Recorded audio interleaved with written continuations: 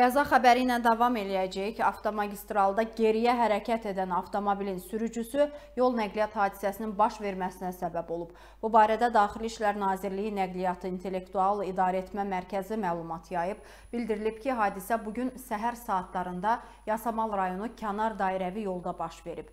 Qəza səbəbindən Bakı-Sumqayıt şosesi istiqamətində sıxlıq yaransa da, polis əməkdaşları tərəfindən nəqliyyatın sərbəst hərəkətinin təmin edilməsi üçün işlər görülüb.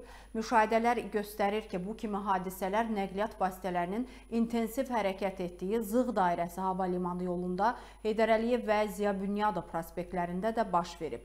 Sürücülərin nəzərinə çatdırırıq ki, yol hərəkəti haqqında qanunun 43-cü maddəsinə əsasən avtomagistrallarda nəqliyyat vasitələrinin geriyə hərəkət etməsi qadağandır.